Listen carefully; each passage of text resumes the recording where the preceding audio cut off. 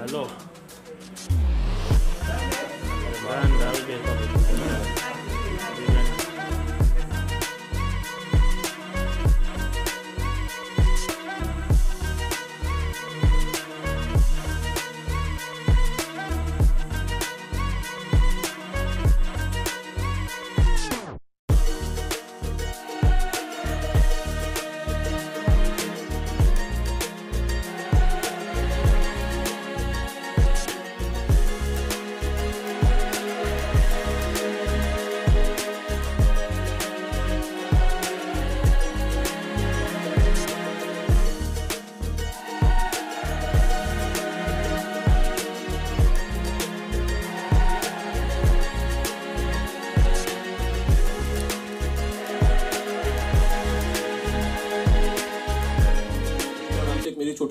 Company है सवाल आपसे है सर दशमी की टाइमिंग को लेकर रिलीज़ डेट को लेकर। एक तरफ़ जहाँ अयोध्या में राम मंदिर के प्राण प्रतिष्ठा की तैयारी चल रही है उससे ठीक पहले 19 तारीख को दशमी थिएटर्स में आ रही है। क्या ये सिर्फ़ इत्तेफाक है या पहले से प्लान था?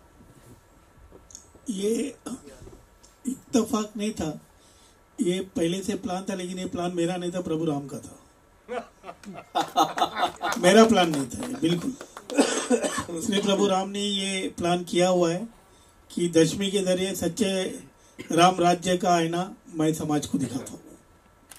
संजय जी संजय जी आपसे एक सवाल है कि बेसिकली ट्रेलर में मैंने देखा कि आप आपकी हँसी है आ, सिर्फ़ ये हँसी नहीं है शायद इस हँसी के पीछे और भी बहुत कुछ है। बहुत कुछ है।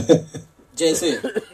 सीन है उसके बहुत अच्छे सीन है मतलब अच्छे इन सेंस की फ़िल्म का एक बहुत अहम हिस्सा है वो सीन जो आप देखेंगे सिनेमा में।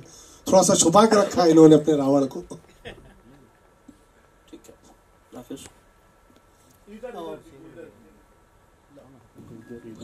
पूछने दीजिए राकेश जी उनको सवाल। मेरा नाम रियाज है मैं एम टी आई न्यूज़ से हूँ। मेरा सवाल आपसे है सर शांतनु सर से। क्या आपको लगता है कि अब राम राज्य आ जाएगा? आज का जो करंट सिनारियो देख रहे हैं समाज में जो माहौल बन रहा है, इसको लेकर आपकी क्या राय है? राम राज्य आने के लिए प्रभु राम को खुद ही आना पड़ेगा, सर। उनके बिना ये मुश्किल है। कोशिश हो रही है कि जिस तरह से राम राज्य था, सत्य और नारी के सम्मान के लिए योग्य था, उस दिशा में हम चल पड़े। कोशिश हो रही है। आएगा कि नहीं, ये तो प्रभु राम के सिवा कोई नहीं बता पाएगा। हम कोशिश कर रहे सारे मिलकर। मेरी फ़िल्म के माध्यम से सिर्फ़ नारी सम्मान की बात है, जो राम राज्य का एक अहम हिस्सा था। बाकी तो राम राज्य सही मायने में एक हर किसी को अपने आप से सवाल करना चाहिए कि क्या हम राम राज्य की तरफ़ बढ़ रहे हैं या नहीं। सर, राम मंदिर का निर्माण पूरी तरह से हो चुका है, अब लॉन्च भी होना है। आप क्या देखते हैं फ्यूचर भारत का? राम लॉन्च के बाद से। क्या बदलाव आएगा आप मानते हैं?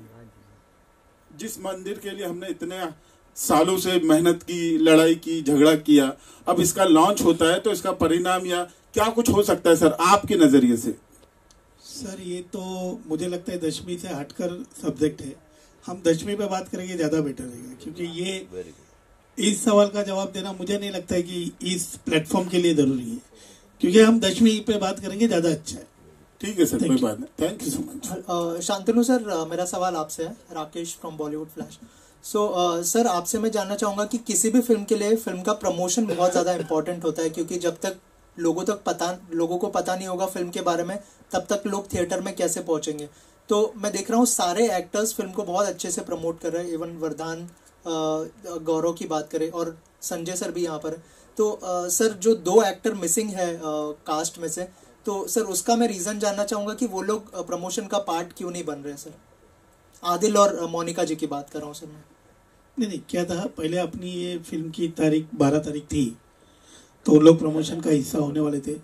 मेरे जितने भी स्टार है जो एक्टर्स है उनमें सबसे बिज़ी स्टार आदिल और मोनिका है जो बहुत बिज़ी है उनके पास काम शायद आगे के तीन साल तक उनके डेट्स नहीं है। सो so, एक हफ़्ता आगे जाते ही थोड़ा सा मैं भी प्रोड्यूसर हूँ प्रोड्यूसर की तकलीफ़ समझता हूँ। तो उन्होंने रिक्वेस्ट की कि दूसरा प्रोड्यूसर मर जाएगा तो मैं मर गया चलेगा मैं दूसरे प्रोड्यूसर को नहीं मार सकता। तो मैं प्रोड्यूसर की तकलीफ़ समझते हुए उनको मैंने छूट दे दी कि आप प्रोजेक्ट कर लो। दशमी के लिए मेरे पास वरदान और गौरव है जो अपने कंधे पर और दशमी अपने आप में दशमी है जो उसको उठा ली। Hello, you're this side. Hi, this is Asta from Awesome TV. My question is to Vardhan. Vardhan, you coming from a Bollywood background already, okay? There is a lot of pressure because actors are doing massive films now. Actors are seeing their graph in an other way. Here, you're doing content-driven films, which is very good and very nice. I see this concept. I really like it. But what was all? What is your thinking beyond this? You know, for choosing such kind of concept and you know not going for a massive film. आपका नाम क्या बताया? Aastha. Hi Aastha. Hello nice question देखो मैं मानता हूँ कि मैं एक कलाकार हूँ मैं एक फनकार हूँ। मेरी जो शुरुआत है वो थिएटर से हुई। जब आप थिएटर से शुरू करते हो तो हर फ़िल्म का जो हीरो है आप स्क्रिप्ट को मानते हो। मेरे लिए स्क्रिप्ट हमेशा से हीरो रहती है। दूसरी बात एक मिक्स्ड बुके ऑफ़ फिल्म्स जब आप करते हो ना तो आपका जो दिल है, आपकी जो रूह है, वो खुश हो जाती है, जब आप आर्टिस्ट होते हो। तो आप मिक्स्ड बैग ऑफ़ फिल्म्स कुछ मेरी कमर्शियल फिल्म्स हैं out and out commercial films जो मैं अब कर रहा हूँ। ये एक कंटेंट ड्रिवन कमर्शियल फ़िल्म है। इस फ़िल्म में वो सारे कमर्शियल एंगल्स हैं, जो एक फ़िल्म को फ़िल्म बनाते हैं। तो ये कंटेंट के साथ साथ ये उतनी कमर्शियल है जितनी मेरी दूसरी फ़िल्म है, जो आने वाली है।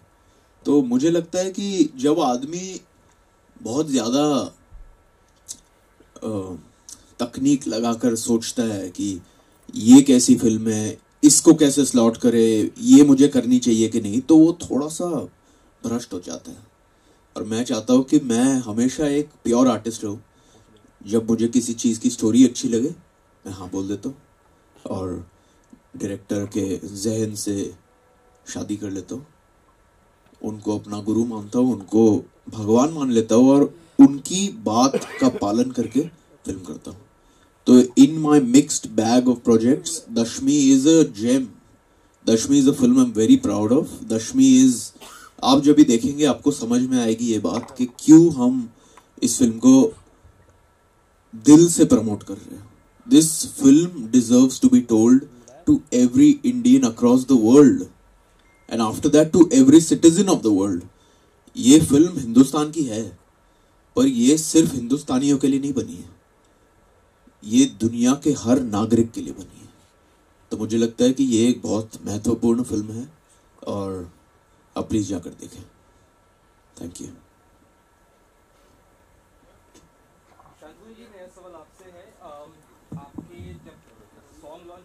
हाँ मेरा नाम सूर्या है बॉलीवुड क्रेजी से। संतोष जी, आपसे सवाल ये है। जब एक सॉन्ग लॉन्च हुआ था, जहाँ पे आपने वीडियो नहीं दिखाया था हमें, सिर्फ़ एक सॉन्ग हमें बस सुना दिया था, तभी से बहुत क्यूरियोसिटी थी मेरे मन में और शायद सभी के मन में कि यार, ये क्या डायरेक्टर काफ़ी कॉन्फिडेंट लग रहा है अपने काम को लेकर? क्या लगता है ये डिलीवर कर पाएगा या नहीं अभी तक? लेकिन आज जब मैंने कुछ गाने देखे ट्रेलर देखा लास्ट में जो ज़िंदगी, जो सॉन्ग की आपने कुछ झलके दिखाई, मैं अभी से यहाँ पे भावुक हो गया शायद। सर ने भी साफ़ कहा कि गाना दिखाना चाहिए था, फ़िल्म के लिए छोड़ना चाहिए था। तो एक फ़िल्म बहुत ही कम ऐसी बन रही है आजकल जो इमोशनली बहुत स्ट्रॉन्ग तरीके से कनेक्ट हो पाती है। और आपकी ये ट्रेलर और गानों से देखकर लग रहा है कि बहुत स्ट्रॉन्ग तरीके से मुझे तो कनेक्ट किया है। तो आप क्या श्योर थे कि ये डिलीवर आप कर पाएँगे क्योंकि कंसेप्ट सोचना उसके बाद वो डिलीवर करना वो इतना आसान नहीं होता। अभी तक मुझे लग रहा है आपने डिलीवर किया है। तो ये ये जो प्रोसेस था ये क्या लग रहा था आप कर पाएँगे और कितना हद तक आप अभी तक सक्सेसफुल इसे मांगते हैं अभी? आ, मेरे को स्टार और जितने भी लोग मेरे से फ़िल्म से जुड़े उनको एक बात पता है। जो मैं हमेशा कहता हूँ शोले बनी नहीं कोई बनाता नहीं बन जाती है। तो दशमी की जब पहली लाइन लिखी थी मैंने तो दशमी ने अपना मुकद्दर खुद बना लिया था। और ये चीज़ें बनती गई। मैंने, मैं कोशिश नहीं छोड़ी मैंने। मेरा काम था अच्छी फ़िल्म इमोशनल फ़िल्म जो मेरा मैसेज है, सही तरीके से लोगों तक जाए। मैं कोशिश करता रहा और दशमी अपना पड़ाव खुद आगे बढ़ती गई। जैसे कि किसी का सवाल था, राम मंदिर के दिन रिलीज़ तक क्यों आई? ये फ़िल्म को जून महीने में आना था। हमने कुछ भी नहीं सोचा इसके बारे में। अपने आप चीज़ें होती गई है और हमको जितना हम ऑनेस्टी से, सच्ची नीयत और साफ़ दिल से जितनी मेहनत करनी थी, हमने इस पे की है।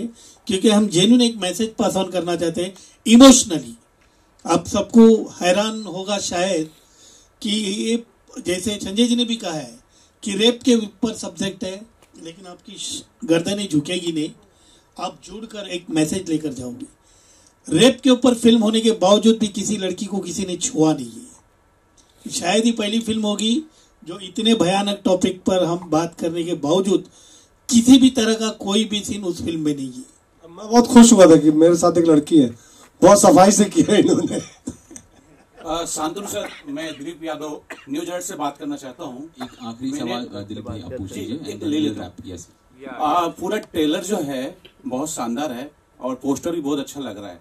लास्ट में ट्रेलर के लास्ट में दो व्यक्ति को जलाया जाता है और स्टार्ट में काफ़ी अपराधी लोग अपनी जो है गुनाह को कबूल करते हैं। क्या रामराज इस तरह आएगा कि जो गुनागार हैं उन्हें जलाया जाएगा? इस तरह पिक्चर में दिखाया जाएगा। फ़िल्म के लिए कुछ छोड़िए सर। कुछ तो फ़िल्म के लिए छोड़िए। All right. Uh, सैफ एक सवाल सैफ एक सवाल। शांतनु सर आपने जो फ़िल्म बनाई है दशमी कहीं ना कहीं प्रो हिंदू शायद है। 22 तारीख को जब प्राण प्रतिष्ठा हो रही है अयोध्या में क्या आप भी इनवाइटेड हैं? आप जाने वाले हैं? नहीं सर मैं इतना बड़ा नहीं हुआ अभी तक। Thank you, right, thank you. ladies and gentlemen, that was the last question, or uh, we'll proceed for the uh, uh, one-to-one interactions now. Uh, photo up कर लेते हैं प्लीज़ पूरी टीम के साथ। एक सवाल है शांतनु सर। आखिर सिसोदिया मुझे ऐसा लगता है आपने ये फ़िल्म दिल से बनाई है दिमाग से नहीं आपकी क्या राय है? आपको जो लगता है वही मुझे लगता है। दिल से बनाइए पूरे दिल से। सर कुछ सवाल क्यों यार? आपने समझ लिया मेरे दिल को मैं बहुत खुश हूँ आपसे। शाम को चाय पियेंगे सर दिल की बातें और शेयर करेंगे।